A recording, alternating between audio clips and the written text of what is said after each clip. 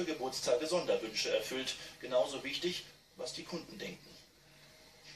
Indem sie halt nicht zum Bäcker gehen, sondern sie gehen wie bei uns, lass uns mal bei der Petra vorbeigehen. Ne? Man ist halt gerade für viele schon im Prinzip eine Art Freund geworden.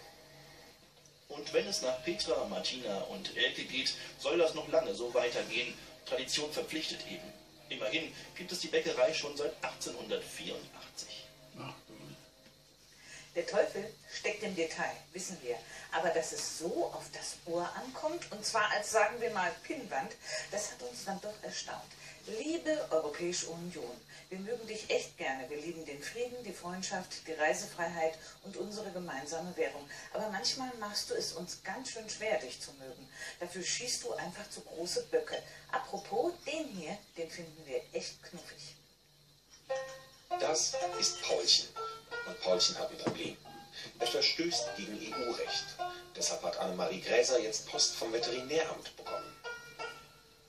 Sie würden mir den Zwangs entfernen, weil ich eben, ich sage jetzt ruhig auch mal eine bockige Alte bin, äh, würden Sie mir eventuell den Ziegenbock auch nicht wiedergeben. Denn Paulchen trägt seine Marke um den Hals. Das geht aber mal so gar nicht, denn die Marke gehört ins Ohr ist eine EU-Regelung und das Veterinäramt geht diesen Verstoß gegen Recht und Gesetz jetzt nach. Im Amtsdeutsch heißt es, vor Ort wurde festgestellt, dass sich die Ohrmarken der Ziege nicht im Ohr befinden und das Tier damit nicht fälschungssicher gekennzeichnet ist.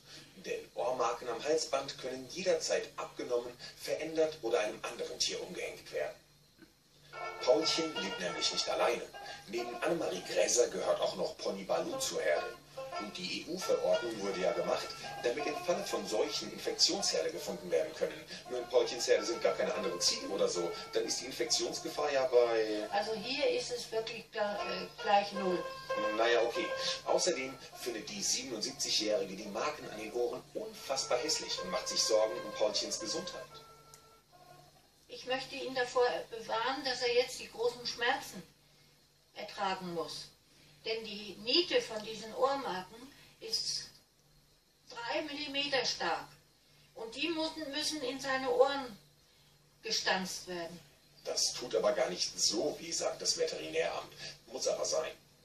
Da der Fachdienst Veterinärwesen nur ausführende Behörde ist und keine Möglichkeit hat, bestehende Gesetze und Verordnungen zu umgehen, gibt es keinen Spielraum.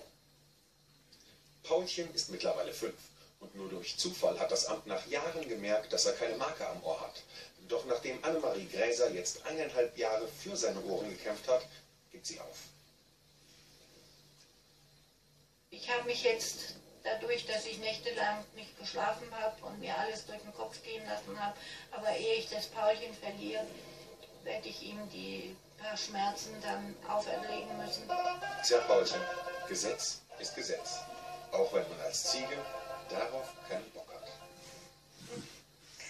Hessische Rekorde, was Hessen besonders macht. Auf jeden Fall etwas, was wir alle noch nicht wissen. Darauf, darauf bringen Sie uns mit Ihren Fragen an die Hessenschau.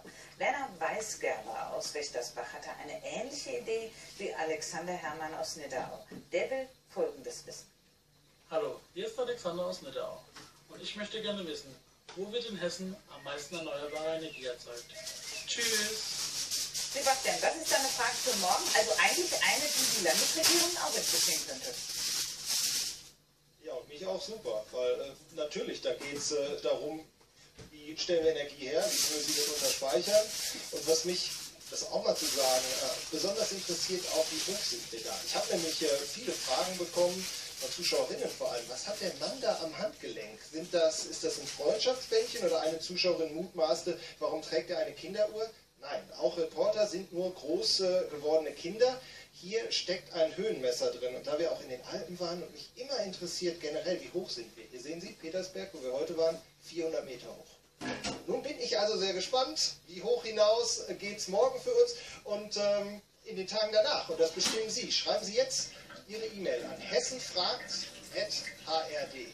Und wir werden dann in den kommenden Tagen noch bis Sonntag weitere Orte der Rekorde für Sie in Hessen aufsuchen. Und ich lasse mich überraschen, wie hoch oder tief Sie liegen. Konstanz.